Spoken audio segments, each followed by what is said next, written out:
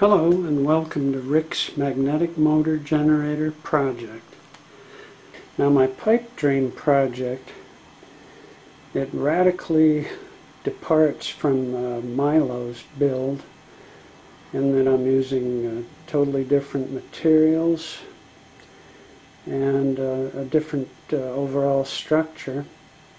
But not only that, I'll be controlling the magnetic forces in an entirely different manner also. I'll be using the stator magnet, uh, just as I've demonstrated.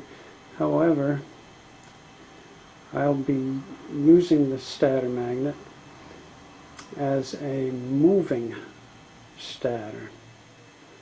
Now, I realize that's a contradictory term and um, normally a stator magnet is thought of as being stationary, stator, stationary. However, the controlling magnet can also be moving. And by moving that magnet, we can adjust the interactions so that uh, instead of getting a braking effect, as the next group uh, comes along towards the stator, uh, we will avoid that. And I'll show you now one way that this can be done. What I will be doing now is to hold the stator magnet in the position that starts the group rotating. And as the group rotates, and the stator passes the first group, the second group will approach. Now this is where we had the braking effect before. At this point, I will raise the stator magnet up slightly, and this will allow the braking effect to be avoided. As soon as the group is engaged with the stator, I can drop the stator back down again and uh, the propulsion effect will continue. Now let's go back to the starting point and I'll show you exactly what I'm talking about.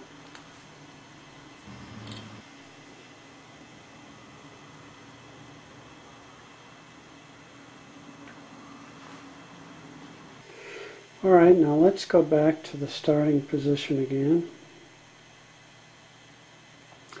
Now this time I'm going to um, pan out. I know that uh, being close in like this, there's probably some people that are going to say, well, uh, you're only showing just a small portion of the wheel. How do we know that uh, you're not turning the wheel with your other hand or that some assistant isn't turning it or whatever? Well, I'm going to pan out now to show the entire wheel and I'm going to hold the magnet with both hands and I'm going to show you how I can get the wheel into a continuous rotation mode by this uh, moving stator concept. Now you can see the complete wheel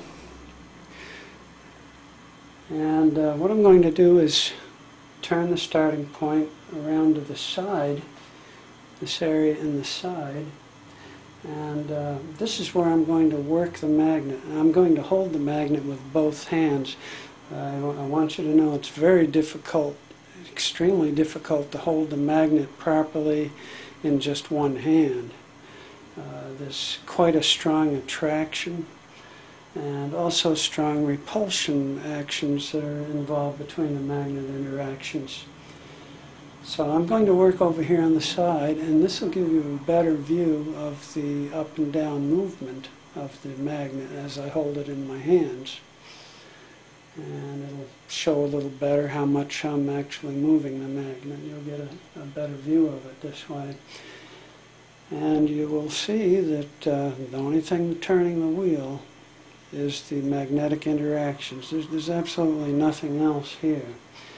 And uh, before I'm done, I'll, I'll take the uh, camera and go all around this uh, apparatus and show you that there is absolutely nothing else here other than what I've already told you. So I'll go around to the side now. Move this wheel into position for myself to begin starting. And here's my magnet coming into position. All right. See that? We've got a continuous rotation already. Granted, it's a little bit slow, but uh, it is speeding up with each pulse. And the, the faster that the rotation gets going, the less I actually have to move the magnet. I'm afraid to get uh, too close right here because uh, there's a point of no return where the uh, stator magnet will slam down on the wheel or else the uh, some of the rotor magnets may come flying off the wheel and strike the stator magnet. If that happens, the um, stator magnet usually breaks the rotor magnets. They'll fly up with such a force as to break them. But anyways, you can see that uh, we do get a, a complete rotation and uh, it just continues as long as you keep pulsating the stator magnet, the moving stator magnet.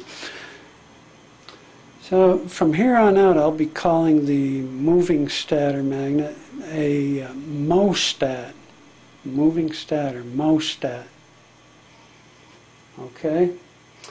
And uh, I'm going to be showing in future videos how this uh, stator motion, the moving stator, the MOSTAT, can actually be accomplished in several different ways. Um, one additional way that I hadn't mentioned before, the stator magnet can be placed in front of the magnets and we can pulse them that way. See how that works? It's the same action. I'm just doing it from, from the side at the front of the machine.